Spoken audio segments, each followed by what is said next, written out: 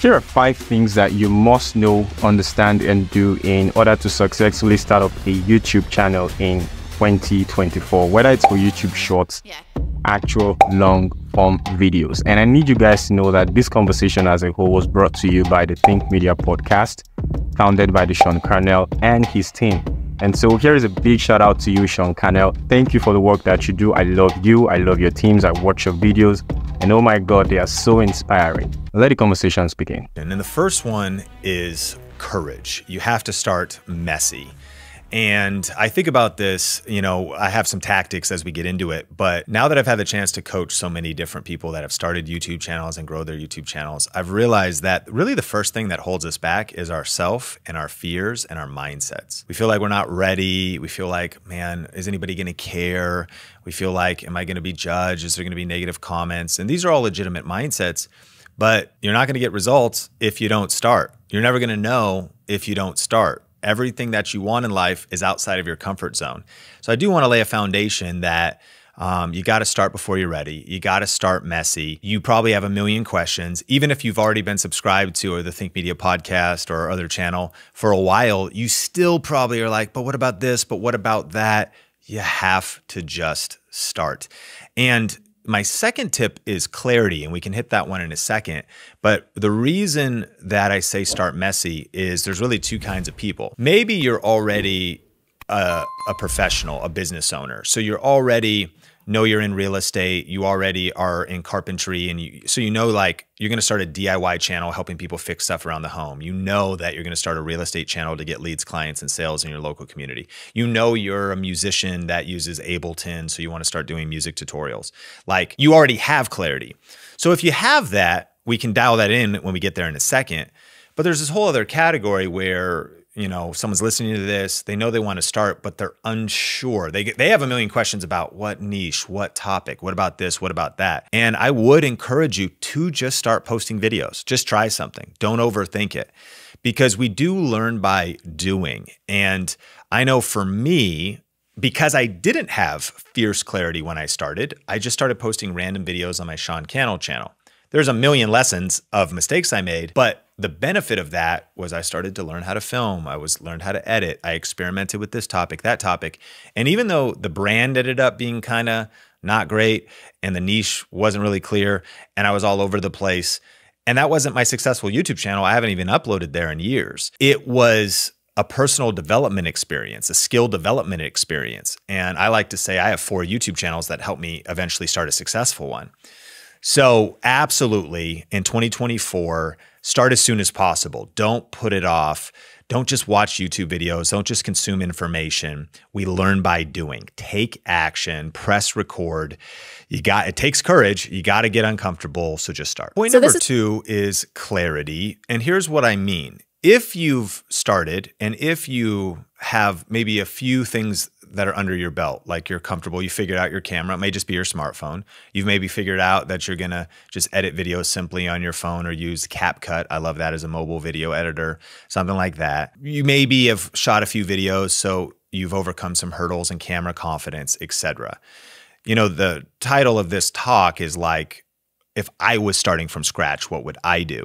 So I thought what we could do is we could look and process a channel that I've always dreamed of starting, but as a dad with a three year old, one year old, this video podcast, our other channel running the company, it's just a dream and it's on the side and I got enough going on with the niche I'm in. But I think about you want to get clear on what is the best channel for you related to your passions what is the best channel for you related to things that'll keep you curious? Ask yourself, will I still be interested and fascinate fascinated by this and willing to research this and loving to study this and read about it? Like you don't have to be an expert.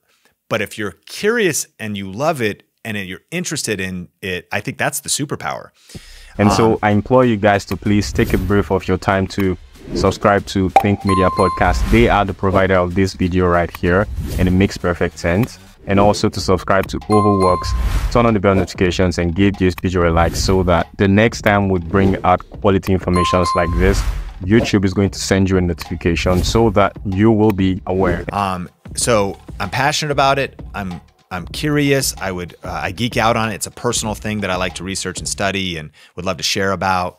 And it's also a way to make money. Now, that's just making the assumption that uh, that would be the desire. How do I start a successful YouTube channel in 2024 and a profitable YouTube channel? So, the case study for me would be I would start a channel on biohacking in the health niche, focusing on maybe nootropics, which are like these brain vitamins there's different, sometimes it might be in liquid form, pill form. Um, but if we're talking about how do I start a successful YouTube channel from scratch, one of the most underrated things is getting your niche right, getting a your topic right. And don't let that be confused with starting messy. And don't let that be confused. Nobody wants to hear this, but you, let's say you started a YouTube channel wrong. I think that's still okay. It never really worked. You did 50 to 100 videos. One of the most painful things could be pivoting your niche or starting a second channel. But people make the mistake that a lot of times that's what it takes to find success. There's a stat that says the average successful entrepreneur that like gets through the the dip of hard work and getting cash flow and getting startup happening and actually makes it to some level of success and sustainability has started 2.6 businesses. So what does that mean? They have one successful business and out of 1 to 2 that failed. So one like on average. So any successful entrepreneur business owner that now has a successful business, on average, had at least one fail or two fail before they found the one that worked. I think that could be similar to YouTube as well. And it may not be that you actually have to have a different channel, but I think that should give you permission to like, what if my first videos suck? They will. Your first videos will be your worst videos. You know, you'd be terrible. But though you know your way to get to success i heard one person put it this way the recipe to get to success is suck suck suck cess.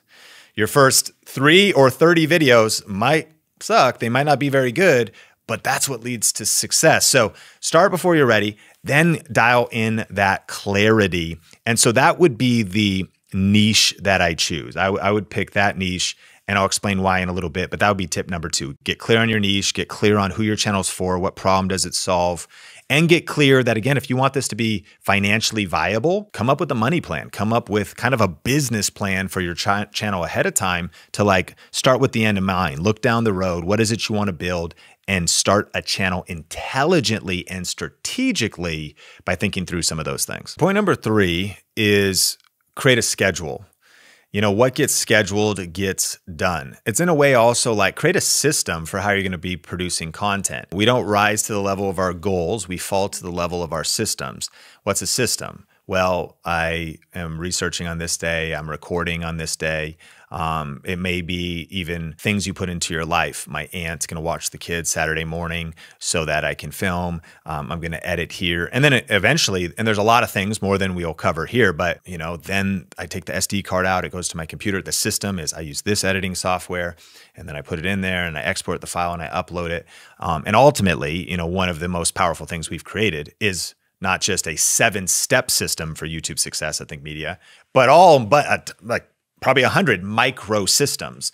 Everything in life, I think, for a life well lived that's effective and productive, is going to be empowered by systems. And so having a schedule is one of those. If you're going to start a channel, it's not enough to just start it. Because technically, to start a channel, right, you just got to set it up. But what, what we mean is like, can we start a channel that has some level of consistency on it? And I would recommend. Um, you know, there's so many different answers to this question, but it's like, how many videos should I upload a week? I would recommend one video a week.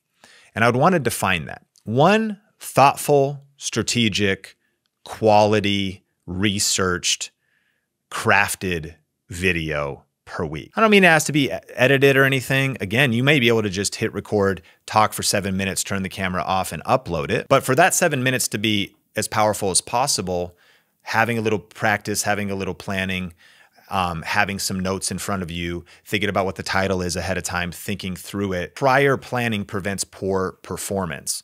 And one of the biggest opportunities if you want to succeed on YouTube is consolidating time and saving people time. Here's what I mean. So, really successful personal finance YouTuber named Graham Stephan. And one of the things he's known for is he puts out great research videos that are concise, clear, and they really take complex information and they make it simple. Well, what does he do? He's known for researching 20, 30, 40 hours for one video. Now, I'm not saying you have to take that much time to be successful, but think about what happens. If he if he researches and plans for 20 hours, and the final product of his video is 10 minutes, it's one of the reasons why the video is so successful because we're all so busy in our lives. You're doing the heavy lifting. Again, even if you don't edit, if you take an hour or two hours or three hours to prepare, and then all of that time preparing, you've consolidated it down into a three to five minute or a 13 minute video, you're doing a service to people. That's why people feel the value of it. The, the flip side is true. If you just wing it, it kind of reminds me of my first video. I was like, listen, this is my first video. Um, I'm not going to be energetic or entertaining. I don't even have a plan. And that video didn't go viral, like, because there was no plan, there was no energy. I didn't really go into it intentionally. So, one long form upload per week to clarify. I think that there's it gets interesting with YouTube Shorts. Those are much easier to create. It's fine to start with YouTube Shorts. Those are going to be vertical videos, 60 seconds or less that maybe switches it up. So if you can do a long form video and a couple shorts, totally fine. If you have bandwidth for more, great. But I think people are underestimating committing to uploading just one quality video. And I've, I've this is what I mean by quality too. I mean content value, not production value. Back to not editing. Content value would be you put your phone on some shoe boxes in front of a window. The there's carpet on the floor and you're it's a smaller room so just the on-camera phone microphone is good enough like so you have no accessories no gear great and but people can hear you they can see you you got some daylight. The production value is not that impressive. It's not a fancy camera but the content value is the title you thought about the topic you know the audience cares about because of research and then the the investment you've put in into the information that you're sharing. And so um, think about that content, like high quality content. And I've heard it said that the definition of excellence is doing the best you have with what you have right now. Hey creator, I'm sure by now there are lots of valuable information that you have taken away from this video. And the good news is you can actually start implementing these informations even today.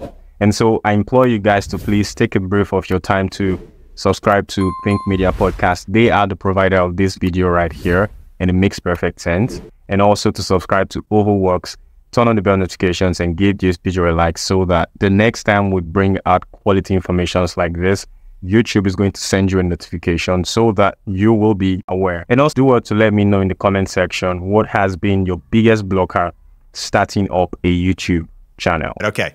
So point number four then is topics.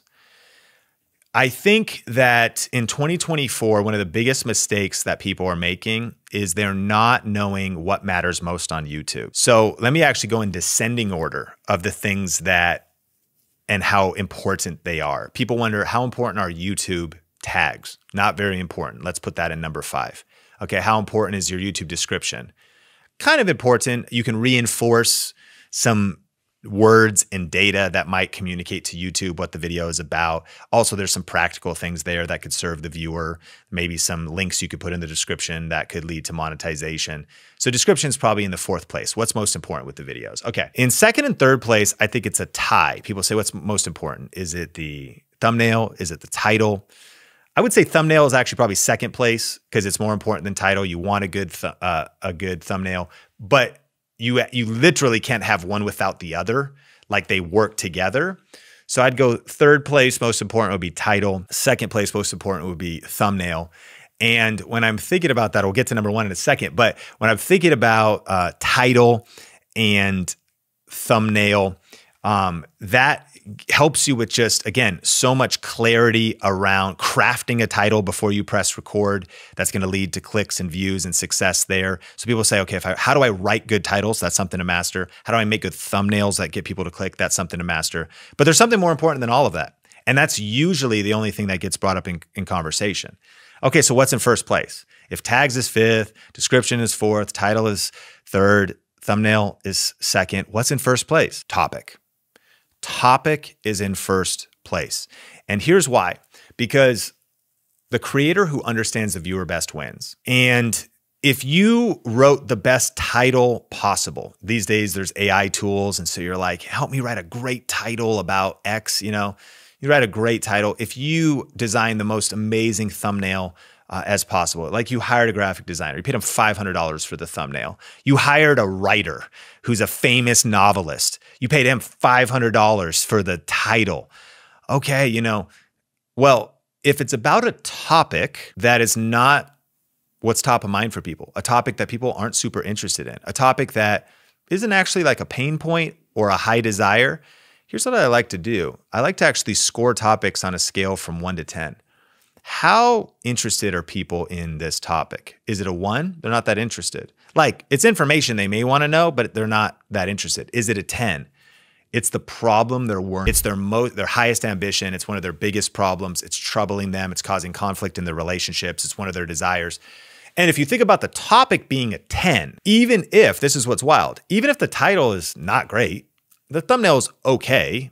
Again, tags almost have no weight anymore, but there's some practicalities to them. Description, like topic is just such such a big deal. And if you talk about the right topic at the right time, look at anybody that covers trending news or something that is timely in the moment. The thumbnail might be terrible. Like all they did was get a few things in the title right.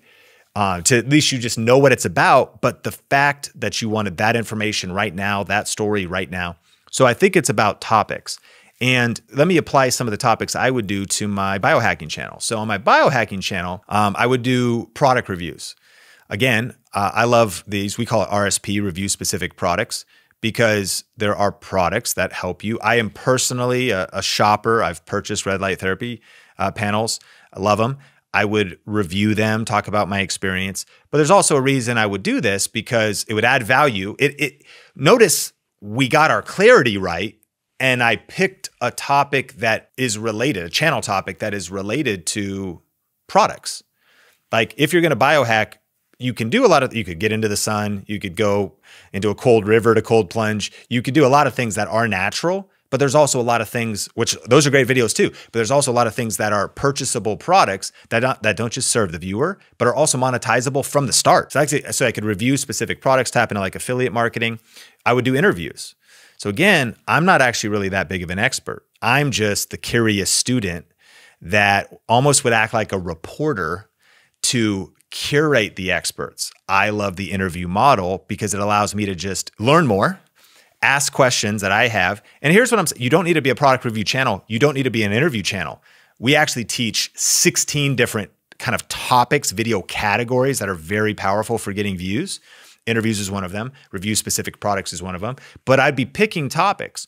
And what I love about, again, interviews is probably not at the start. I wouldn't be able to get somebody like Dave Asprey, who's big in the biohacking space, or I wouldn't be able to, not at the start, but you could start like interviewing different different people. I, I use what's called a PEMF mat, pulse electric magnetic field.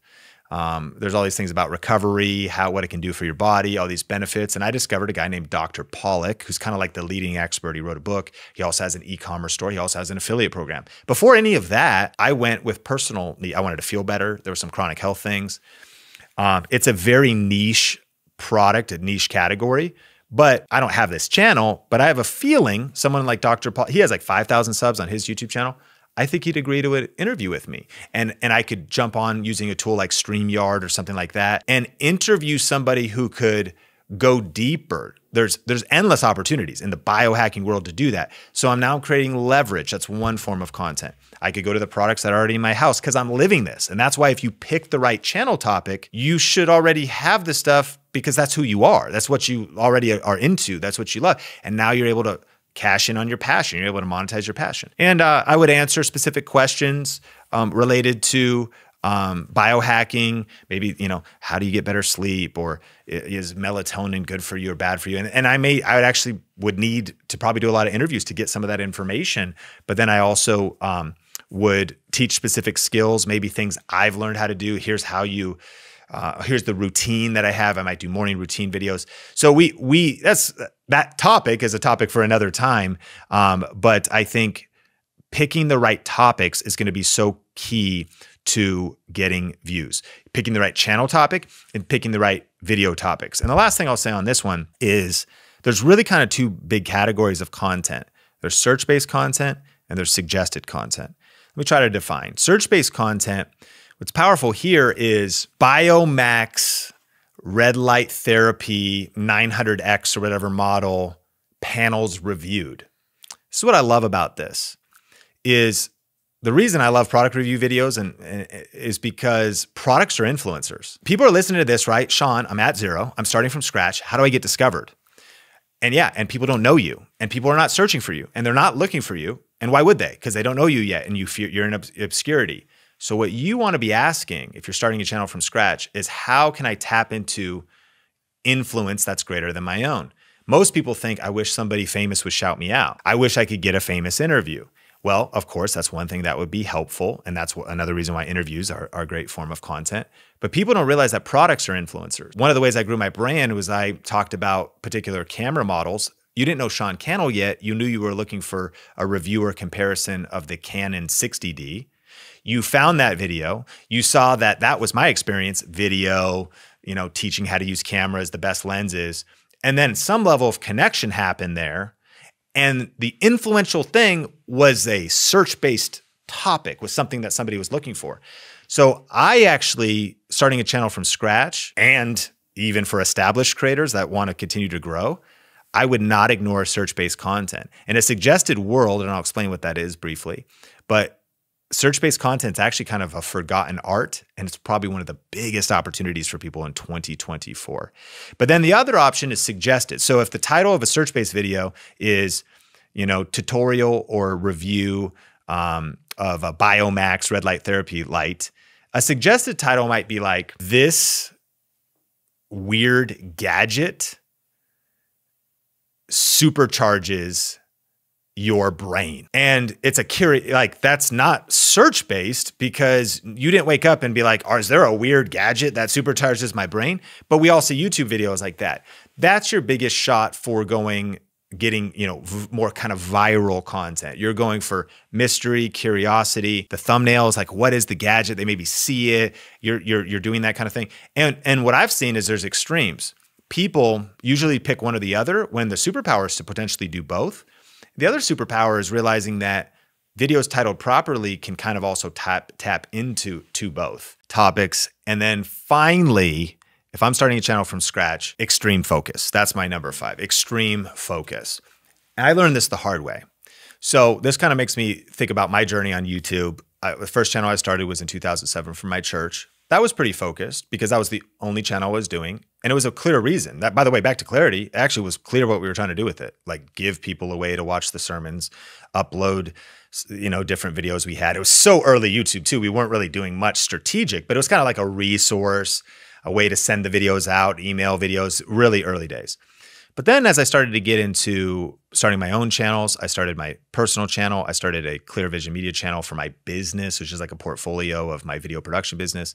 Then I started a channel called Think International with my friend Jeff Morris, which was like a faith based channel interviewing pastors and leaders and authors uh, kind of in the Christian world. And out of Think International, I started getting questions about cameras and what gear we were using to produce those videos. My background had been by that time in video for about seven years, video production. So that led to the start of Think Media. Um, you know, fast forward a few years later, and I started a, a side project with my friend video uh, with my friend Benji called Video Influencers. But here's what we just like listed out. I would say that maybe around 2015 um, I was trying to actually simultaneously run all four of those channels. I was still collaborating with Jeff every so often. We'd go to like a Christian conference and interview a few people. I still did some video production jobs, so I'd upload those in my portfolio. I wanted to vlog when I could and vlog a trip that I was on, so I uploaded that on like my Sean Cannell channel. I wanted to be consistent on Think Media. And then eventually, uh, because I, up to that point, had so much YouTube experience, we started Video Influencers to kind of collect our learnings um, and ramp up to a book we eventually wanted to write. So here's what I'm saying. I was doing way too much. And that was not the only thing I was doing. My life is just as complex as anybody else's. I mean, I know people listen to this. It's like you got stuff to do. You might have got kids, you got school, you got work, you're busy. And when I think about extreme focus, I think that the problem is if you try and chase four rabbits, you'll end up catching none of them. Or you'll just be so tired and fatigued and you'll delay your eventual success because you've diluted your energy in four directions when you could have compounded it in one. So I think there's a couple mistakes that people make when starting a YouTube channel. They maybe get an idea, they have a topic, but if you're listening to this, you're probably like me. You're creative, you have new ideas every day, you might have new ideas for YouTube channels every day new businesses, new opportunities you see. You might be like, "Ooh, I should talk about AI." Oh, I actually I want to start a bone broth company. What? I want to, you know, start doing a book a book club. I want to write a book. I want to write an ebook. And that's as I spin off. And that's not just YouTube because if you're listening to this too, you're like, "Maybe I want to create an online course. When am I starting my merch line? How do I start my Patreon? How do I slow down? Take a breath. Extreme focus coming from the person who ch- just tried to do it all, it led to more fatigue and I'm so grateful that all those learnings and pain points ultimately got me to where I am today. And I'm very grateful to be here. But one of our company missions is to shorten people's learning curve. We just want to help you avoid the pain and the heartache and the fatigue. And, and for some, um, chasing too many rabbits might lead to so much exhaustion, so much discouragement, so much burnout that would have been avoidable if you guarded your focus. So I've heard focus stands for this follow one course until successful. Focus. Follow one course until successful.